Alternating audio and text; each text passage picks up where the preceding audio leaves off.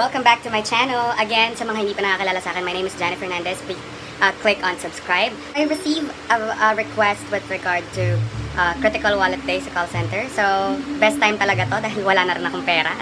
At Critical Wallet Day na as of today because ang date natin ngayon, 6 na ngayon. At ang sahod natin ay dito pa. So, ito talagang perfect timing for Critical Wallet Day. At iba-vlog natin yan today. Kapag Critical Wallet Day, ayan, ang mga bag, aalog-alugin mo yan syempre. Tapos, yan, hanggang may marinig ka, aalog din. Hanggang may marinig kang barya, tapos dudukot-dukutin mo yan para may pambakong ka dahil Critical Wallet Day na nga.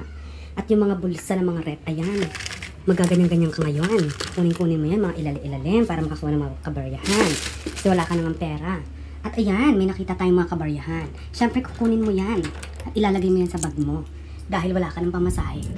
Bukod sa Critical Wallet Day, ay hindi ko alam saan ko nalagay ang wallet ko. 'di ba? At nandun lahat ng susi ko. Di ako makapasok ng bahay. Alis na tayo. As I mentioned sa first vlog ko namin, yung mga nagbe-video okay. Ito rin yung ano, challenge din to talaga ng mga call center agent na pag ang uh, ang mga celebration pang umaga, tapos ikaw natutulog ka sa umaga, kailangan mag-adjust ka. Kahit maingay, matutulog ka talaga. So nagbe-video okay pa rin sila hanggang ngayon. At consistent sila, talagang puro video okay. Ganay, ganay! Labas tayo, pakinggan natin ang mga boses. Kung pang The Voice ba ito or... Ano yan, ganyan yung mga kabosesan.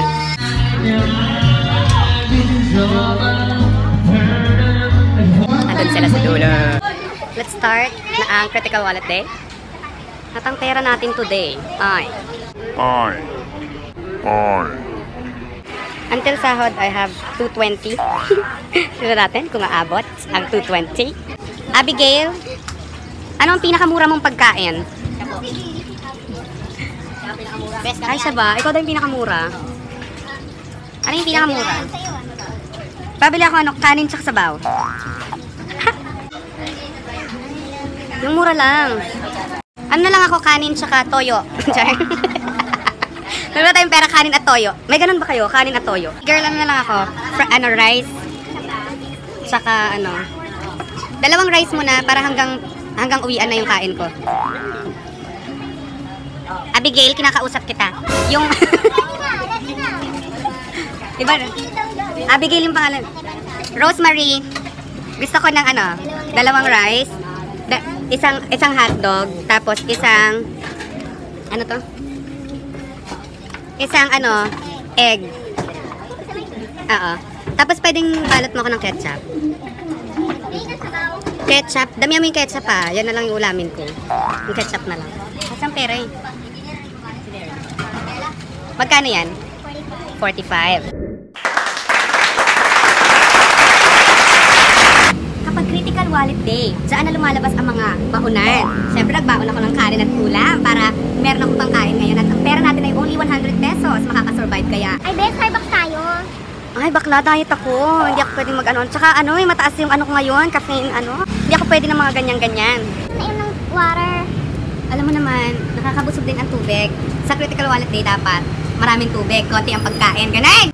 So, critical wallet day na nga at naghahanap kami ng mga friends ko ng makakainan na super mura. Dahil mapapamura ka talaga sa laman ng wallet mo as of now dahil critical wallet day.